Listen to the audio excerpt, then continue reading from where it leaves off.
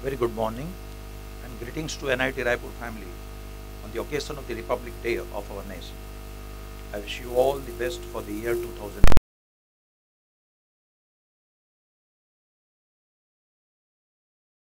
Technology Raipur. As you all know that there are few fundamental rights under Constitution of India and in the same way there are a couple of fundamental duties as well. Being an institute of national importance, an institute of engineering and technology, it is our duty to make aware the society about sustainable development, preventing our environment and also setting our institute as an example for others by adopting best practices in this respect. Before I elaborate on these best practices and issues, let me mention a couple of things in which we are all feel proud. Our faculty, Dr. P.K. Chaudhary and his scholar mention. This is first patent in the history of NIT Raipur. I congratulate them for the, his for their achievement. We have installed 13 numbers of flip interactive digital display boards in classrooms and our institute has accepted to coordinate NIMCET 2020 All India Entrance Examination and Counseling for admission in MCA program.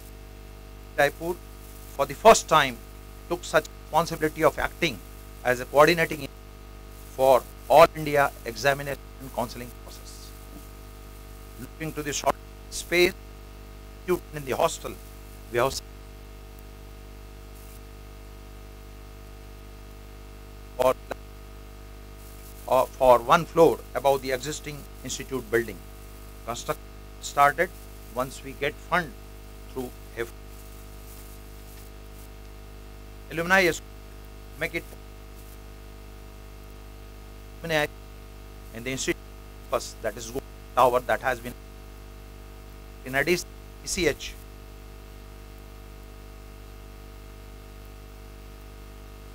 Raipur faculty. As far as the academics, extracurricular activities, innovation, etc. are concerned, we are progressing well. Now the area which needs attention to every stakeholder of the institute is adoption of the best practices what about which talking in the beginning. We are educational institutes where we invent and teach technology it is used by us, our society. Engineers and scientists are responsible for invention of technology and technology based products and services. We know how to use technology for betterment of society. At the same time, we better understand harmful effects of the technology as well. Being responsible and educated segment of the society, it is, it is our duty to find out ways and means to eliminate harmful effects of developed technology or products. Therefore, I believe that we should take a lead and adopt best practices for creating sustainable campus. As you all know that we already adopted practice of using sapling instead of flower bouquet. It has been observed that many times our guests come from outside Raipur and they may not carry sapling pots with them. So proper for proper utilization of the sapling, we now have decided to develop souvenir garden in the campus itself. Sapling given to our guest can be planted in the souvenir garden. This can be done by guest himself where we'll have the name of the guest, guest uh, program name and date of the program. So it will serve three purposes. First, sapling will be properly utilized. Second, it helps in developing green campus. And thirdly, we will preserve the memories of good happening in the institute. We will be going to begin the practice of the planting the sampling in souvenir garden very soon. Second important best practice is to minimize use of single-use plastic. We all know ill effects of the single-use plastic. We have already started eliminating use of water bottles in the institute programs. This has been started from our foundation day that is 1st of December 2019. I appeal to NIT Raipur family to avoid using single plastic, single use plastic water bottles in all institute programs, students programs, guest houses, canteen, etc. Third important best practice is to develop smart sustainable campus by creating robust water treatment facility in the campus that will minimize wastewater discharge and maximize water recovery. My dream is to have zero liquid discharge campus. Wastewater can be recycled and recycled water can be used for gardening in the campus.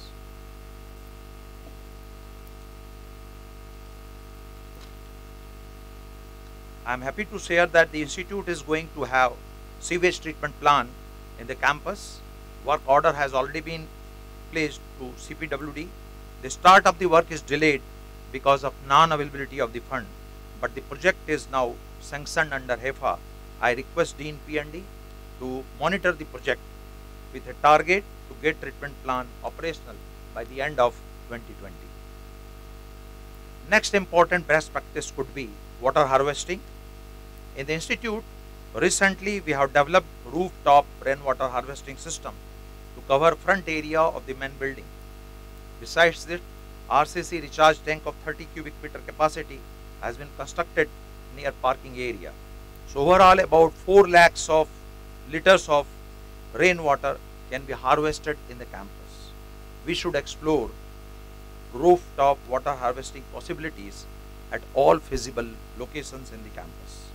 Our aim is to recharge groundwater to the maximum possible extent and at the same time reduce bore water consumption by recycling wastewater and using it for gardening and cleaning purposes. Another area which needs our focus of utilization is solar energy to reduce electrical energy consumption in the campus and to prevent environment as well. Presently, we have only 10 kilowatt solar plant to harness solar energy which has been set up with the support of CREDA. It caters the demand of only part of our institute office, but we must try to harness solar energy to the maximum possible extent. We have already done preliminary groundwork and planning to install 1000 kilowatt solar power plant. With this, we will not only protect our environment but also save about rupees 22.5 lakhs per annum. The work is already given to Dr. Londe to work, work out in this area and I request him to pursue the matter and see that the plant becomes operational by 2020. We have to take up all these projects in a mission mode. Therefore, I request registrar to form an institute level committee to monitor the progress of all these projects of best practices and also adoption of the best practices in the institute. Volunteers and members of the Go Green Club should also come forward and contribute in achieving our target. Institute is providing best possible education to the students, but to understand the real world problem more closely by students and help students to get their solutions from experienced people, we will be launching MBA program. Yes, you heard properly. It is MBA program, but it is not Master of Business Administration, but it is mentorship by alumni. Alumni Relations Cell of the Institute have requested our alumni to help students by mentoring our students. I am happy that they now have a data with them regarding alumni and their expertise in which they wanted to mentor. Identified areas are many including preparation of higher studies, innovation, entrepreneurship, preparation for GI, GRE and many more. I request our alumni cell, alumni relation cell of the institute to obtain the list of needy students who need mentorship and make MBA program operational immediately. We focus on many important aspects including best practices, academics, mentorship of students, etc. but many times we are not focusing or maybe not fully aware of our own physical and mental health. This is true for all of us, including institute faculty, staff, and their family. So, keeping this in mind, from January 2020, we are going to start with HEAL program that is health awareness lesson. Under this, we will have one program every month focusing on one specific health issue in which NIT Raipur family would get an opportunity to have a direct dialogue with the expert people to get their health related query resolved. One such program for the month of January has already been conducted addressing to emotional health of the students.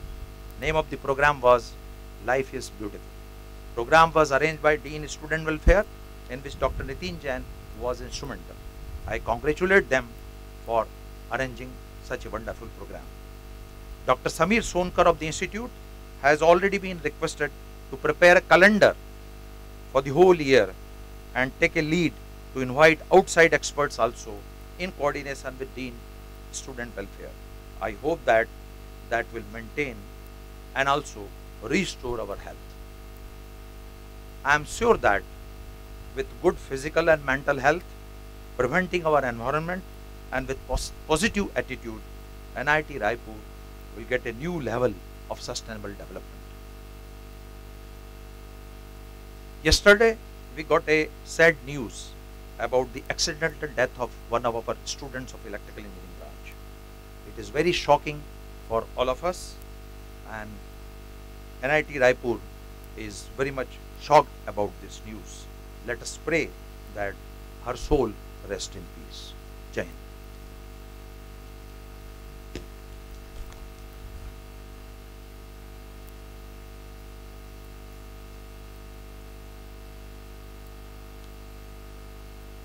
Thank you, sir. Thank you very much for your encouragement and enthusiastic words. Bharat Mata ki! Bharat Mata ki! Bharat Mata ki! Thank you, all.